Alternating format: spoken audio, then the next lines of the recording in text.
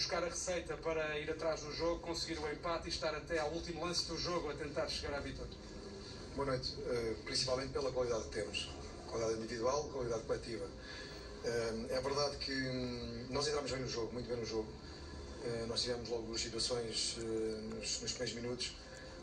Um, pressionámos muito aquilo que foi a primeira fase de construção do, do, Sporting, condicionámos muito aquilo que era um, a, sua, a sua saída a partir de trás. é verdade que numa outra situação que eles conseguiram sair, criaram-nos perigo e fizeram, fizeram, fizeram os golos. mas nós sempre com, com muita bola, muitas situações no meio campo ofensivo e encostar o Sporting, o Sporting atrás. no segundo tempo continuámos retificando uma outra situação em intervalo que era importante. continuámos no início do, segundo tempo a ir à procura de, de, de fazer, no fundo, aquilo que nós queríamos, que era, que era ir à procura do, do, dos golos para ganhar o jogo. Um, acontece a, a, expulsão do Coates e a partir daí é um, um jogo, é um jogo uh, praticamente sentido, sentido, sentido único, onde, onde tivemos ocasiões para, para, para ganhar. Um, perante o campeão nacional, perante uma boa equipa, muito bem organizada, conhece muito bem aquilo que faz uh, e o que faz é de uma forma simples, mas muito eficaz, tanto quando tem bola quando não tem. Um, nesse sentido, eu acho que, uh, por aquilo que aconteceu no jogo, nos 90 e poucos minutos, penso que, que merecíamos mais do que o empate. Sérgio falou nesse jogo de sentido único, depois da equipa ficar a jogar contra, contra 10, mas pareceu a determinados momentos que a muita alma e a muito coração que a equipa tinha, faltava algum discernimento na chegada à zona de, de decisão, sentiu também isso ou nem tanto? Sim, na, na, entrada do último terço é verdade que podíamos, ter uh, definido, definido, definido, melhor, uh, podíamos ter também naquilo que era a nossa posse e situação de bola, muitas vezes insistindo no corredor central e nós tínhamos preparado ao exemplo daquilo do gol que fizemos, por vezes não é, não é cruzar para cruzar, mas sim cruzar onde o adversário deixa espaço para podermos ferir o mesmo. é verdade, mas isto também é um jogo muito competitivo, um jogo onde, onde se vive muito durante a semana, jogo muito mediático, era um jogo importante para as duas equipas uh, compreendes aquilo que se passou dentro do campo, alguma falta de discernimento de uma equipa e de outra, agora não se compreende aquilo que se passou no final, isso não. Uh, já lá vamos a essa parte, Sérgio. Queria-lhe também perguntar um, ehm, em relação à, à, sua equipa, sendo que o Porto começou a correr atrás do resultado desde muito cedo, o facto de ter sido o tal jogo quesilento, muita discussão, muita discussão a cada falta, acho, muito tempo parado, isso jogou também contra o eu acho, eu acho que houve pouco, pouco tempo útil de jogo, aliás, somos das piores equipas da Europa, uh, das piores equipas, perdão, dos piores campeonatos da, da Europa. Dos grandes países do dos grandes países, do futebol, é o pior. Um, Uh, e hoje foi a prova disso. Uh, apita-se quando não se deve apitar, mas eu não queria ir muito por aí, porque eu sei. Mas compreendo. Não, eu sei, eu sei exatamente, era exatamente isso que eu ia dizer. É compreensível uh, a dificuldade que o árbitro teve em, em segurar o jogo. e muitas vezes são os intervenientes, são os jogadores que, que, são os culpados e muitas também são os árbitros também que, que não, sabem, não sabem segurar. E neste caso eu penso que o, que o João Pinheiro, sendo neste momento dos meus árbitros portugueses, teve alguma dificuldade em segurar o jogo. essa foi a minha percepção. Um, depois, uh, naquilo que foi. Uh, olhando para o jogo no seu todo, eu penso que. E, e não deve ser a única, o único, única pessoa a achar que nós merecíamos mais do que, do que o empate uh, pelo decorrer do, do, próprio jogo. É verdade que tínhamos uma vantagem de dois golos, uh, mas nós uh, somos uma equipa muito forte naquilo que é o nosso processo ofensivo e sabíamos que íamos, que íamos fazer golos e, e a mensagem ao intervalo foi exatamente essa, era para ganhar o jogo. Olhando de forma fria, Sérgio, a tabela classificativa, o Porto, apesar de tudo, mantém essa vantagem de 6 pontos para o Sporting. Isto é algo positivo que se leva deste jogo? Não, foi negativo empatar.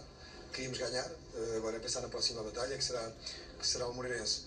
Entretanto, temos a jogo da meia da semana da Liga Europa. Uh, vamos preparar bem esse jogo, arrefecer bem nos ânimos e, e estar com um estado de espírito positivo para encarar estes, estes dias que temos pela frente a preparar uma competição onde nós uh, queremos chegar uh, o, mais longe, o mais longe possível. Por fim, Sérgio, e porque falou do arrefecer os ânimos, já tocou nesse tema há bocado, que se passou no final, sendo vocês figuras altamente mediáticas, exemplo para muitos jovens, para muitas crianças, muitos estavam no estádio, milhões em casa a ver, o que se passou no final não pode ser normal. Estavam-me estavam aqui a dizer nos corredores que, que a TVI e a CNN estava a dizer que houve confronto entre o Viana e o Sérgio Conceição. O está aqui próximo, do balneário do Sporting, podem chamar e, e, perguntar o que é que nós estávamos ali a fazer. Estávamos sim, eu a separar os meus jogadores e o Hugo a separar os jogadores uh, do Sporting, porque eu sabia que no meio desta confusão toda há sempre expulsões e o jogo já tinha acabado, uh, não valia a pena. Há sempre, é verdade que há sempre ânimos uh, mais exaltados, havia muita confusão, muita gente, não é bonito para ninguém. Mas eu estava, como estava também algumas pessoas do Sporting e algumas pessoas do Fogo Porto, nomeadamente da equipa técnica, da minha equipa técnica, e eu vi também o Guiana a tentar arrefecer os ânimos e acalmar os jogadores, como nós estávamos a fazer, porque eu sei que, que nestas situações há sempre, há sempre probabilidade de expulsões e foi aquilo que aconteceu, infelizmente, sim, infelizmente, infelizmente. Muito obrigado, Sérgio Conceição, treinador do futebol que entra a vencer no Dragão, não por um, mas por dois golos, leva apenas um ponto e se fala sair do Dragão, com que sentimento? de frustração, uh, porque estamos atrás, também completamente diferente do ano passado. Estava 2-0, um, tínhamos mais ou menos o jogo controlado, mas a verdade é que, que o Porto foi ganhando muitos cantos porque nós fomos perdendo a bola em, em, zonas que não devíamos, devíamos ter percebido melhor o jogo nessa fase, porque poderíamos levar, a bola, levar a bola mais para a frente se não desse com ligação. Nós estávamos com, a criar problemas cada vez que metíamos a bola na frente. Uh, mas é assim que nós, nós jogamos e, e, nós vamos passar essa fase também de, de, entendimento do jogo. E o Porto ganhou muito por aí, quando, quando, quando e o início do jogo foi muito assim, nós marcámos e depois nós a querer sair, um ressalto, um canto, um lançamento e, fomos empurrados assim para mérito também do, do Porto. Um, depois algumas segundas bolas, onde o Pepe e o Mbemba, sem conseguir uh, uh, sair a jogar, batiam a bola, segundas bolas e, e, e estavam no nosso meio campo. Uh, e portanto poderíamos ter gerido melhor a, a vantagem e, e deixado a equipa do Porto mais nervosa. Acabou por não, por não acontecer. Aconteceu 2-1, fomos para o intervalo e, e, a seguir à expulsão o jogo teve um sentido e nós, nós a defender e a tentar sair e o Porto a, a atacar. A equipa, apesar de tudo, com menos um, a vencer por 2-1, pareceu saber gerir bem os tempos do jogo, saber parar o jogo em momentos que era necessário parar. Uh, o 2-2 acaba por surgir porquê, na sua opinião? porque estávamos a defender bem, um ressalto do, do, do Fábio Vieira, depois ele continuou com a bola, um bom cruzamento, um bom ataque à área, uh, tivemos bem durante o jogo nesses, nesses pormenores, não aconteceu ali, acabámos por sofrer, mas estávamos bem no jogo, a controlar, a controlar sem bola o, uh, até esse momento, e depois soubemos segurar a, o empate, pelo menos. Houverá um momento de destaque no segundo gol do Sporting, é uma jogada uh, com 14 passes, mais de 40 segundos, a bola passa pelos 11 jogadores até entrar na baliza do Porto. Isto trabalha-se ou é mais inspiração do trabalho? Completamente indiferente. Nós queremos é fazer golos. Uh, como eu disse, nós por vezes não poderíamos querer dar os 14 passos, passar a bola por todos os jogadores, poderíamos colocar a bola mais na frente e iríamos uh, criar mais problemas e variando o jogo assim. Criando problemas na frente ao Porto, eles depois teriam que abrandar um pouco a pressão e o jogo é mesmo assim. Acabámos por não fazer, uh, mas com os jogadores penso que. Hum, penso que tínhamos o jogo controlado e iríamos criar bem mais problemas no, no fim do jogo. Olhando, Ruben, àquilo que são as contas do campeonato, àquilo que foi o jogo também, uh, falamos aqui de um ponto ganho, dois pontos perdidos, pode-se falar de quê no final? Dois pontos perdidos, porque, principalmente porque estamos, porque estamos atrás, a diferença é grande, temos um rival atrás, Uh, que luta pela segunda, pela segunda posição. Perdemos vários jogadores hoje para, para os próximos jogos e, portanto, só, só poderemos estar um, chateados com o resultado e com, e com e com a falta de jogadores para o próximo jogo vão, vão fazer falta. O Ruben também, de forma aberta, não se coíbe de, de, falar sobre situações menos positivas e o que se viu no final do jogo foi uma, posição, foi uma situação muito, muito negativa, um mau exemplo para quem estava a ver nas bancadas, para quem estava a ver em casa. O que é que lhe apetece dizer sobre toda aquela confusão que, a determinado momento, era até difícil perceber quem é que não estava metido na confusão?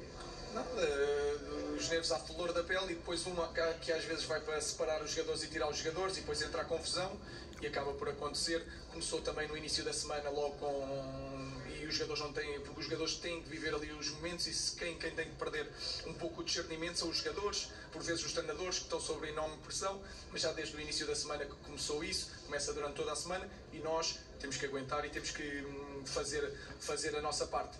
Há uma coisa que vai ser sempre assim, quando um está lá, não interessa se, se é feio, se é confusão, tentamos levar as coisas da melhor forma, mas está um lá no meio de, de, toda a gente, temos que ir ajudar. E depois é olhar para as imagens e a, e a mesma, a mesma investigação que houve ao, ao, ao lance do Nuno Santos, é investigar e castigar toda a gente que tem que ser castigada e, e, e é assim que temos que levar. Agora, os jogadores uh, também às vezes perdem, perdem a cabeça, estão a jogar com menos um, os outros querem ganhar para, para, para ganhar a vantagem e perde-se um bocado o discernimento. Não deve acontecer, é um mau exemplo, queremos, queremos vender um bom, um bom produto, mas a culpa é de toda a gente, não só dos intervenientes que têm o direito de perder a cabeça, como toda a gente à volta que desde o início da semana começaram com, com, com histórias. O futebol é mesmo assim, nós temos que crescer, obviamente, nós somos os principais responsáveis, mas é a equipa do Sporting eh, onde vai um vão todos. Muito obrigado, Rubén Amorim, técnico. Um jogo para mim reflete, eu tenho 43 anos, vou fazer 43 anos de idade, e este jogo reflete para mim o que foram os últimos 40 anos de futebol português, numa era onde tem um presidente chamado Sr. Pinta Costa, e acho que este jogo reflete bem o que tem sido estes 40 anos de Pinta Costa. O que me surpreende mais, e tenho que dizer isto enquanto, não apenas enquanto presidente do Sporting, mas enquanto cidadão português, ver uh, numa tribuna presidentes de Câmara, uh, ilustres políticos, e todos se viam para o lado. Todos se viam para o lado para mais um espetáculo decadente e horrível de um país que quer ser da União Europeia, de um país que quer ser primeiro mundo. O que hoje vimos aqui, uh, e no final, principalmente do jogo, uh, elementos da organização do evento, com coletes azuis, está filmado, as imagens estão, estão disponíveis por toda a gente, uh, a agredirem, a entrarem, a invadirem o campo e a agredirem jogadores. Isto é o pior, o pior do desporto. O pior que Portugal tem a nível de desporto. E ninguém tem coragem. Ninguém tem coragem. Acha tudo normal. Uh, depois ganha-se um jogo, ganha-se um título, ganha-se uma taça. E é competente.